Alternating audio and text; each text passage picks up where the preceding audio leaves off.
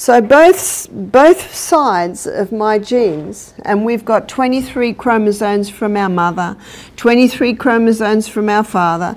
So both my sides were, were not grey. My husband's white, and both of his parents were white at 50.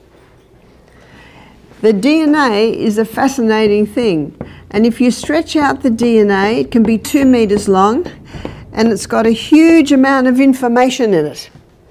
If you put all the information that was in the DNA into alphabetical language, put it into paperback books, it would go to the moon and back. I can hardly get my mind around that.